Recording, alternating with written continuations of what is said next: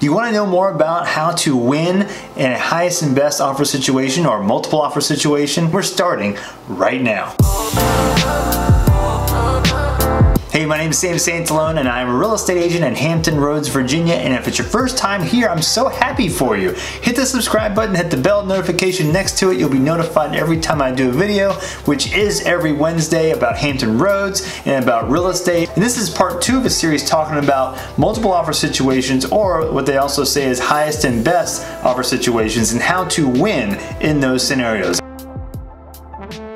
Another thing to do is to not just make a decision based on what the asking price of the house is. So if the house is listed for $300,000 and there are multiple people making offers on the house, often buyers will say, well, I'll just give them asking price and uh, ask them for closing cost assistance. I'll give them what they want. Uh, well, a lot of people think that way. So what happens is you make the same offer to somebody else, then it comes down to other variables that might outkick yours and make yours less attractive. Make an offer that's higher than the sales price, and it could be a thousand, could be multiple thousands. So it's also helpful for your agent to tell you what they think the uh, house will appraise for, what it's actually worth, because if it's worth maybe 305 instead of 300,000, well, there's some extra wiggle room. You can uh, offer in more uh, money for the seller to take, and maybe the other people that make offers won't do that. And so you've offered $1,000, $2,000 more than somebody else, and you may have gotten yourself the house. Um, now, keep in mind, if you offer more than what the house appraises for, uh, that does not mean you're going to have to buy the house at that amount. So if the house appraises for less than what you offered, then it goes back to negotiation. And the seller may have to take a lower amount or uh, you may have to uh, make some concessions as well. But the point is that you're not obligated to close. But if the situation occurs where you're making an offer that's higher than sales price and you guys have to then go back later to negotiate again, you might not move forward with the process because the seller might not agree to what you're asking. And that means that the house goes back in the market and you've wasted like two or three weeks of time and a little bit of money. It's not an automatic fail-proof way to approach making an offer, but it can help, especially if you need just a little extra bump to get over the top. Another way to win in this kind of situation is to offer a little bit more in the asking price, go over the asking price, but also offer less in closing costs.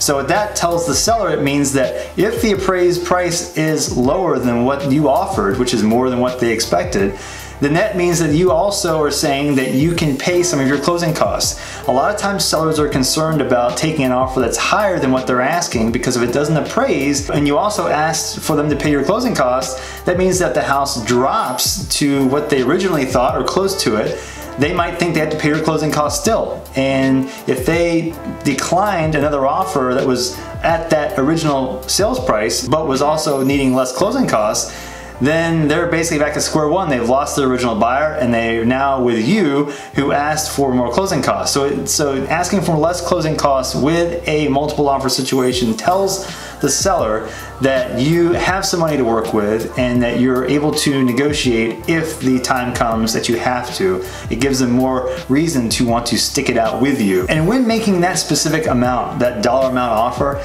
always ask yourself, at what point am I making an offer that if I don't get the house, I'm okay with it? So people often like to make decisions based on that, that asking price. Well, I don't want to go over asking price. I don't want to go into a bidding war. But, but my opinion is it's not as much about the other people, it's not as much about the uh, asking price, it's not, it's not as much about going over asking price and making sure you get, you get the house. It's all about what you feel inside is what you're comfortable with. Because if you knew that if you had to just offer an extra thousand bucks and you got the house you wanted, the really the one the house you wanted, and you didn't do it, Imagine how that feels uh, if the day after you find out that you didn't get the house and you miss it by a thousand bucks. Would you have regretted it? And if you did, if you would have regretted it, then I suggest going up a little bit higher to make sure you get the house. And at least if you didn't get it, you feel good knowing you gave it your best shot. I found that often once people find the house that they love, uh, they want to squeeze as much deal as they can out of the, out of the transaction uh, and forget that if they don't get the house, they don't get the house. They, you can get as much of a deal or try and get as much of a deal as you want to, but if you don't get the house, it doesn't make any difference, you know? So I'm all about keeping the main thing the main thing. I love deals. I'm all about finding the best deal, but if you don't get the house, what point is the deal? it doesn't exist. Another suggestion I have is to get qualified with a reputable local lender. A lot of out-of-state lenders or lenders that have like 800, numbers, you know, you call like those big companies, they often don't know the specific processes of local uh, real estate. And they're also good at qualifying you uh, with little information to begin with. So it doesn't mean that these are bad lenders, it just means that their processes are different. And sometimes it's hard to get a hold of somebody in one of these larger companies because they have very strict hours. And so having a local lender you can talk to when you need them, and sometimes people that are available after hours or before hours can be a big difference in communicating to the seller that not only are you serious, but uh, they have confidence knowing that the lender tells them that you're qualified and you are going to close. So get as far into the approval process with a local lender as you can so that when the time comes to make that offer, you can do it quickly and you can show the seller and the seller's agent, who is a big part of this, that you have great qualifications and you have it with somebody that the agent uh, might actually know or might be familiar with. That's a big deal and it gives them confidence knowing that the process can be handled smoothly in the way that it should in the local area and in my case, Virginia Beach, Norfolk, the Hampton Roads area. This goes with uh, sellers and listing agents. Anytime that there is something that they think could jeopardize the timeliness or the ability for you to close, it will factor into getting your offer accepted. So local lenders are extremely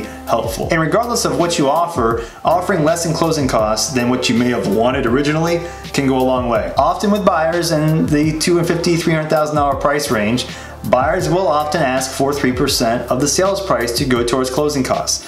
Now, so if you know that, if you're willing to take maybe a 1% off of that, maybe offer 2%, 1.5%, whatever that number is, uh, try and reduce it to as much as you can uh, because that number might be just enough to give the seller motivation to take your offer over multiple others that might have uh, maybe offered more in sales price but weren't willing to drop the closing costs. And so again, it's back to bottom line. If there's a buyer that's offering high sales price but a lot of closing costs help they need, it's going to be much better for them to take a little bit lower offer and uh, someone with less needs for closing costs. Two reasons. It means that first of all, their net's higher. They're they're going to make more money at the end, and also it means that their house does not have to appraise as high to make sure it closes, which is another huge deal and gives them confidence that the house will probably close.